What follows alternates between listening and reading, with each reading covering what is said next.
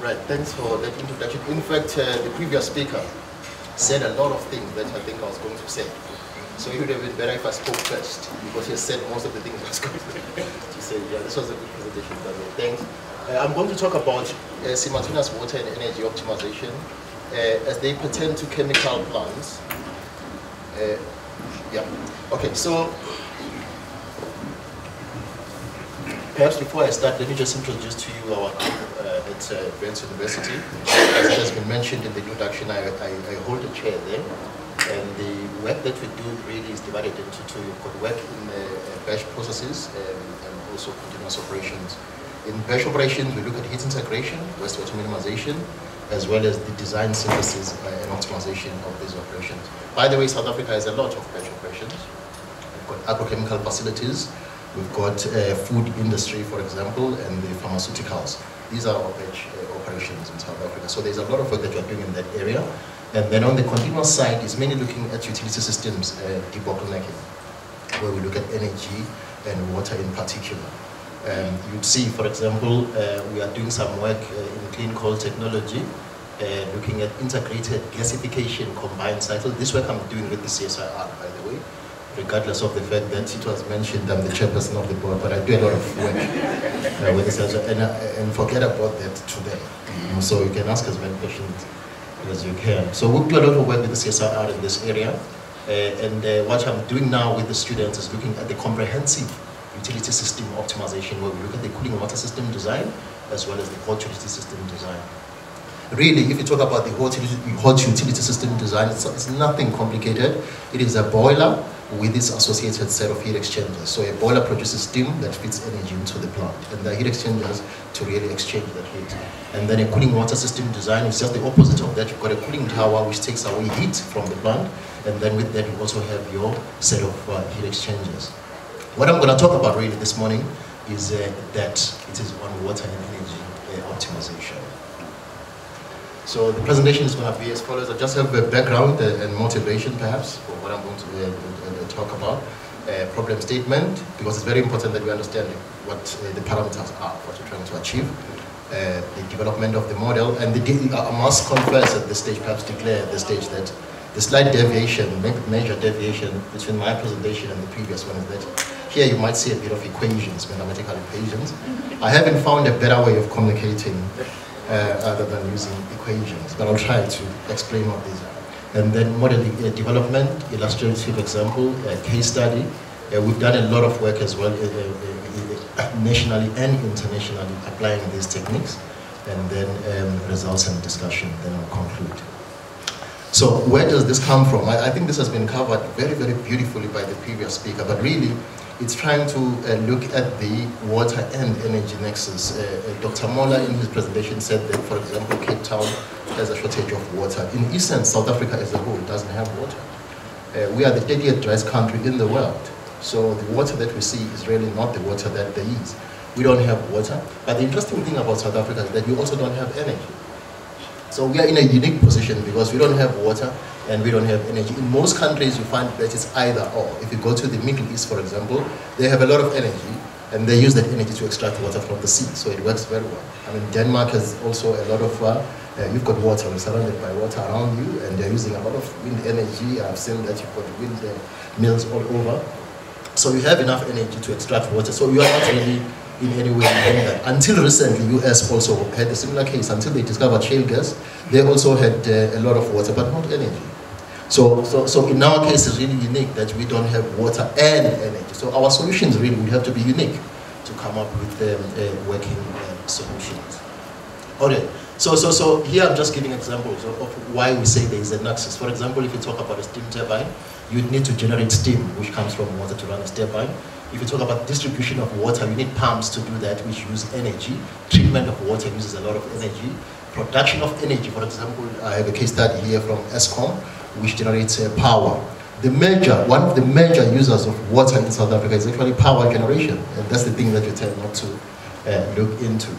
So that's really where the nexus comes from, and then we, we use uh, process integration techniques to, uh, to, to solve this problem.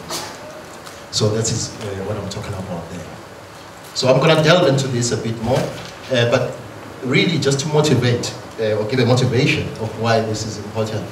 Uh, if you look at a typical system here, I've got a typical system in a chemical plant. You would have a, a regeneration uh, network. They might not have a network sometimes, they would have to maybe just one regenerator. A regenerator in this context would be your membrane system, for example, either reverse osmosis, which is very common in South Africa, or electrodialysis, which you would find commonly in the Middle East. So that's what we're talking about when we talk about a, a regenerator. Uh, on the other side, you've got the uh, process. This is a network of processes. So these processes use water for various reasons. Uh, in chemical plants, we use water mainly for three reasons. We use water as a reaction medium, for example. Sometimes we recover that or it goes with the product. We use water for cleaning. And we also use water to extract energy or remove energy from the, from the, from the plant. So these are the main uh, avenues for using water. But if we take this uh, network, we call this, by the way, a superstructure. What you see there is a universal set of all possible solutions. So it looks as if I've got two regeneration systems there. Uh, it's actually, you can have any number of regenerators there. Any number, it's not limited. I've just given two here to illustrate the point because I'm saying any stream that comes from that regenerator could be taken to another regenerator depending on its uh, qualities. It could go to, into the process, it could be recycled back into the regenerator. So there are many combinations that you have there. It's not limited to two, it can be any number of these regenerators. Same thing with the process, you can have any number of processes. It's not necessarily two. So this is really a, a superset of all possible solutions. And within that lies an optimum. And that is what I'm going to talk about, the search for the optimum in that uh, space. And then they go down, you put energy, that's where your energy goes. The energy goes into running your regenerators. You need a lot of power to run the regenerators. Uh, the reverse osmosis, you need the pressure, the pressure drop uh, over, to, to overcome the pressure drop, you use a lot of energy. For electrodialysis, you need to develop the potential difference. So there's energy that goes into that. And the reason why you have that energy is to maximize your recycle reuse within the operation because you treat uh, your, your, your, your, water, which can then be partially reused within the plant. And by so doing, you might then reduce the amount of water that you use. That's basically the problem that one is looking at. And the trade-off really is here. If you increase the amount of energy, if you increase the amount of energy, it means that you really purify your water to an extent that you maximize your recyclability, recyclability or reusability of that water. And by so doing, you reduce the amount of fresh water that goes in there. So that is really the problem. And the question then that arises is, can we find a way, perhaps a systematic way, of arriving at this point? This is the point that we are looking for. So if you think of this as the energy cost that would go into your treatment, if you think of uh, this as your water-related cost, of course, the lesser the amount of water you use, the lesser the cost, then somewhere there lies an optimum, and basically the methods that we are developing of the search of that optimum. So in simple terms, I think I've, defined now what the problem is, we all understand what the issue is. In simple terms, uh, this will be your problem statement uh, in words. It's really what I've just illustrated uh, in pictures. This is now in words. So we've got the set of sources. We know the flow rates and the contaminant concentrations for the sources. We've got the sinks. Uh, a source, by the way, is any process that could generate water that could be used elsewhere. And then a sink is any process that could use water generated elsewhere. Very much along the lines of the symbiosis that was uh, explained early on. So we've got the water regeneration units as well. We are given all the design parameters for that. The freshwater source is given, and we assume here that it would be unlimited, and then we have your wastewater sink, which is also unlimited. And given all that information, then we are requested to determine the minimum flow rate of fresh water into the sinks, the minimum wastewater flow rate, as well as the optimum design variables for regenerators, in order to minimize energy. That's, the, that's what you're trying to achieve. You want to minimize the energy and water. And then with that, you must also come up with the new design. So it's not just setting the targets. You set the targets, you would say, for example, this is the minimum amount of water achievable in this operation, and then you go further and demonstrate how that is achieved. So you, there are two things here. It's the target as well as the design. So it's a complete framework in a way. Now, what you see there is just, a, again, an illustration of the point. I'm looking at a situation here where we are using two types of regenerators and electrodialysis as well as reverse osmosis. Any plant, fortunately, in the world can be categorized in this fashion. You can split any plant into your sources and your sinks. Any mm. plant would have a source of water somewhere, it would have a sink of water somewhere. So we can split this into two. So this is basically what we've done here. I've got the sinks on one end, I've got the sources on one end. And by the way, a source can also be the sink. Here we are just illustrating the performance. If you think of a cooling tower, uh, when the cooling tower receives water during makeup, it is a sink, but when it generates blowdown during the cleanup, it is a source because the blowdown could be used. So the same operation could both be a source and the sink, but still you discretize it as shown over there. So this is the basis of the framework. And then this is a simple mass balance. Uh, because of, the, of time, I've only just uh, selected a few equations that I think are key in achieving this. It's a really simple mass balance. This is basically that variable that you see there is that variable that goes into the electrolysis. That is the same as that. It's made up of all those streams. For example, these are the streams that comes from all the sources. Uh, these are the recycled streams coming from either regenerator, uh, either regenerator, that would be, that would be electrolysis and reverse osmosis. And that stream over there is the stream that goes into the uh, reverse osmosis. It's also made up of all those possible streams.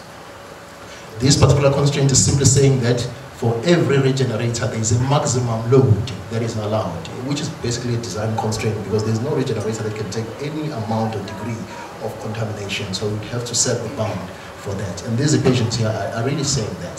So what you see there is the load. On top, the numerator is the load, contaminant load. That is the maximum concentration. If you multiply that by that, you get the load that is taken by that regenerator. So this applies to the electrodialysis unit, this applies to the reverse osmosis unit. This is, by the way, in simple terms, your electrodialysis for those who might not have come across this technology. This is electrodialysis. It is basically made up of alternating membranes. You've got the anodic exchange membranes. These are the anodic exchange membranes which only allow the negative ions to pass. We've got the cathodic exchange membranes which would reject the negative ions and allow the positive ions to pass. They alternate throughout, and then in between there, you have the, concentrated, region with highly concentrated ions and the region with the less number of ions. So this would be your dilute stream, which you want to reuse, and this would be your concentrate stream, which ideally you would uh, dispense with as waste.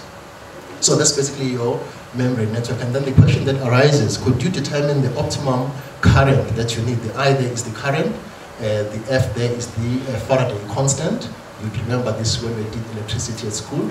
Uh, the N there is the number of cell pairs that you require, and the Z there is the valence of the ions that you use in the system. And then the L that you see there is the path length. This is the area that you want to determine. This is the width, and then the N there is the still, still the same as the N there, which is the number of cell pairs. The other equations that we use, of course, because it's modeling, in mathematical modeling, we have to make some assumptions. And there are assumptions that we make here, all of them very practical assumptions. For example, uh, the fluid that we are looking at is Newtonian. Like all very important fluids, it's Newtonian. You know, blood is Newtonian, water is Newtonian. I'm not sure about alcohol. Is alcohol Newtonian? But, but all good, uh, all important uh, fluids tend to be Newtonian. What that means is that the viscosity doesn't change with your rate of shear strain, it stays constant. And then we assume that the flow is steady, the flow is laminar, which is really fair.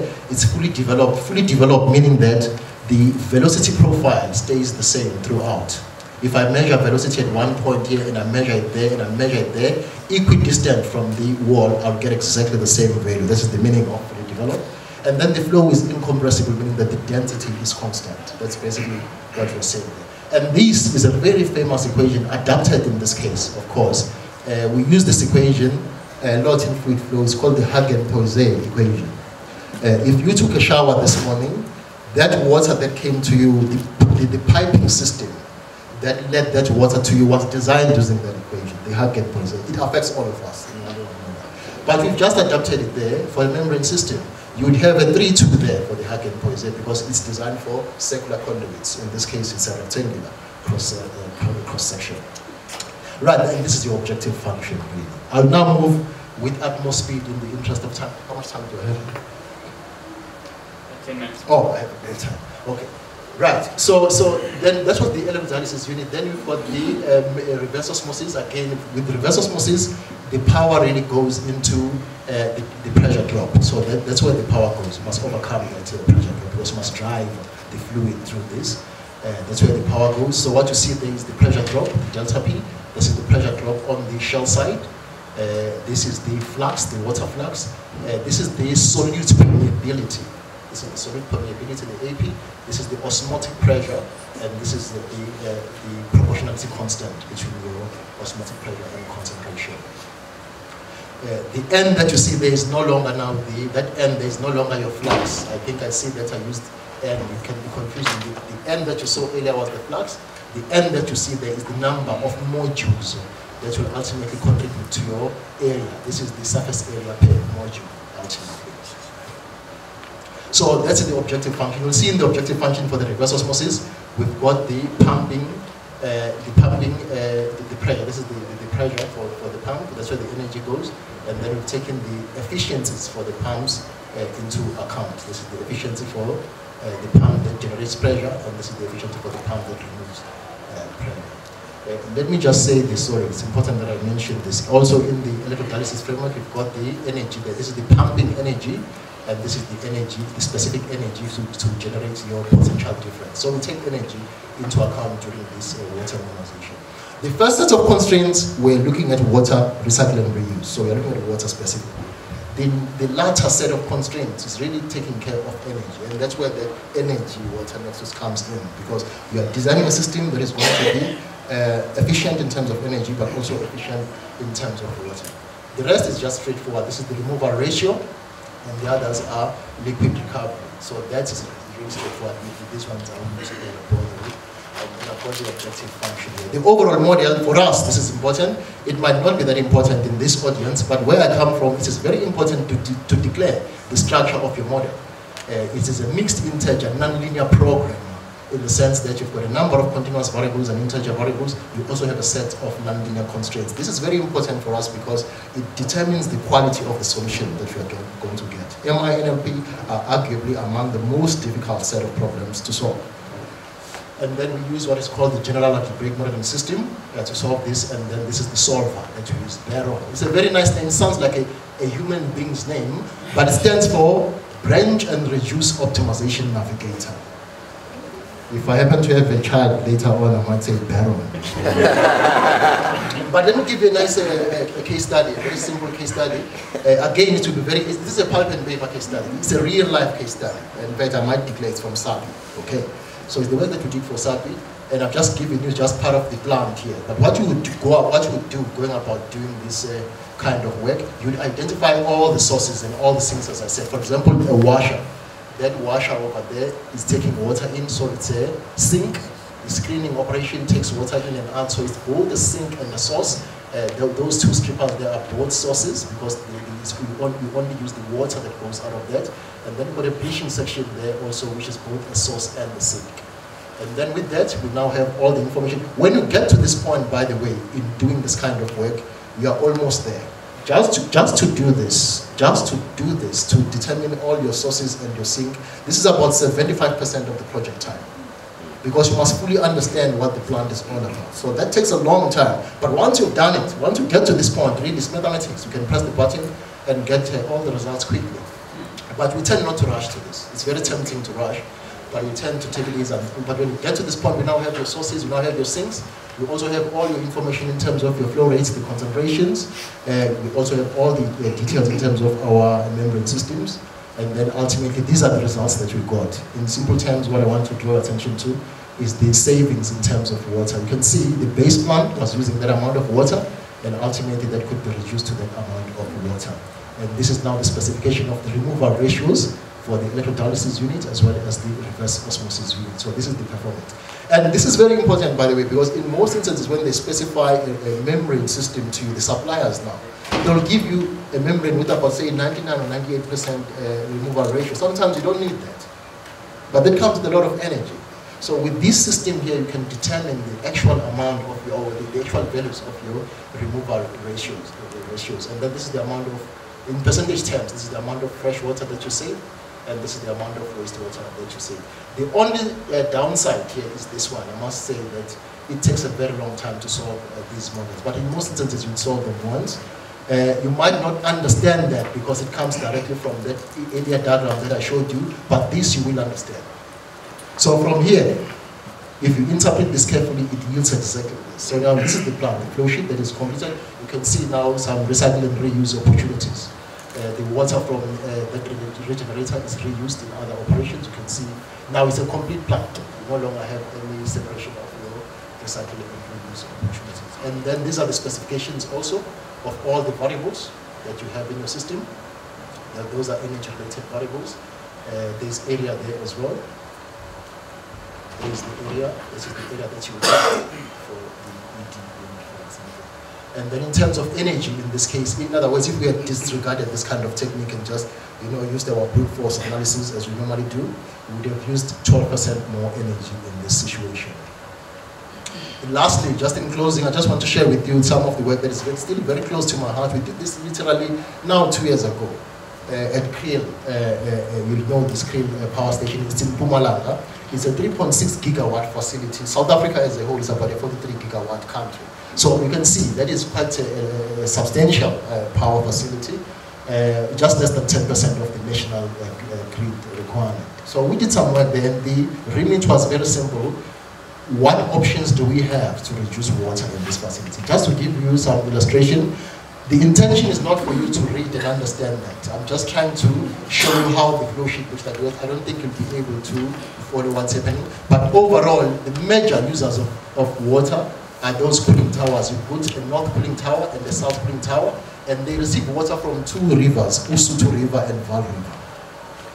But, okay, I'll get to that point. I wanted to show you the values now of the water that we are using in these operations. So we, we had to separate into sources in the sinks, just like we did with the other operation. And then ultimately, we have all the concentrations for all the streams. We have the flow rate, uh, all the information that we need to do modeling. And again, this takes a very long time to get to. We have to work with the engineers, people who understand the plant, so that you, can, you don't come up with results that don't make sense. But look at these values. I'm just giving you now the values. At the moment, that facility is sitting at 119 uh, megaliters of water per day. Cape Town, as a city, uses about 400 megaliters. I'm, I'm illustrating the point. It's one plant. Multiply this by about 20, Eskom is about 20, somewhere thereabouts in South Africa. Multiply that figure, and then that tells you how much water goes into making our power. So when you say you want more electricity, actually you are saying you want you get water from somewhere. But this is a country that also doesn't have water. So it tells you that there is a, there's some communication breakdown that there is. Because if you hear what people in water say and what people in energy say, I don't think they understand that link. So ultimately what we wanted to achieve, uh, right now the plant is sitting at 3.1 liters of water per you, this is what the technology used in, in, in utilities industry. USO is units sent out, which is your gigawatt sent out. Uh, they are sitting at 3.1 at the moment. They wanted to take that down to 1.8 because they believe that that plant could be at 1.8 liters of water per unit sent out. What we demonstrated to them was that if they don't use any regenerator, they would never go below 2.1 liters of water per unit sent out. They won't. So the 1.8 was just the pipe dream, it wouldn't be achieved. However, if they use regeneration, they could take it down to 1.9. And they applied this solution. And by the way, you can go, this is now documented, they saved about 5 million rand within six months of, applying this kind of. So that's why I like this case study. It's a really applicable and this is the final plant actually, but this one is the one that uses the reverse osmosis. They did not apply this. In fact, they forgo, they, they forwent this option. They did not take this uh, into account. They removed all the uh, membrane systems and took the first solution. This solution here does not involve the membrane system. That's the solution. Okay. So these are the energy savings, about 43% savings in terms of energy and huge amounts in terms of uh, water. Uh, here you might not be too interested in this again. I'm just illustrating the point in terms of how long it takes to solve these models, what is the structure of the model, the discrete variables. The discrete variables are really your number of uh, cell pairs in the case of uh, uh, number of cell pairs in the case of uh, um, electrodialysis. And that will be the binary variables also that tells you whether you need that unit or you don't because you've got a, superstructure. So those are discrete variables which take integer values. Right. So we still have to deal with this. In fact, the work that we are doing now is to solve this. We want to bring down this value uh, to seconds and not hours. So in conclusion, uh, I think I won't read through that because I've said all that, uh, that to you now. But I think we've been very successful in demonstrating that there is a need to develop these systematic techniques And we've also been able to apply this in real life. Uh, and maybe what I can do is to, these are the publications. We also do a lot of publication. This is the thing now with where I am. It's not just the practical element, but you also have to publish journal publications so that you are recognized. Otherwise, they don't take you seriously. So these are the these are the uh, journal publications, and you have to be very careful what type of journals you choose. All that, yeah. So these are. In our space, these are very good journals. This is my team. A lot of those people have left, by the way, but but uh, this is basically the. It evolves, of course, it changes over time. And these are my funders. You can see I've split out because I don't want, you know, we are in South Africa now. So it can be very dangerous. If I left the thing out, I'm sure there was going to be a lot of talk when I leave. No, I'm not funded by the CSIR. But I do work with the CSIR, and I said so. My position as the chairperson must never stifle science. So we do our science, we do it for no monetary gain. I love doing it, and I will do it beyond this temporary arrangement called chairperson. So, so, so the funders are uh, the NRF. I'm funded heavily by the NRF. I hold the chair for the NRF, the Water Research Commission, and so, there are other funders like Sappi, but these are the major funders. Thank you.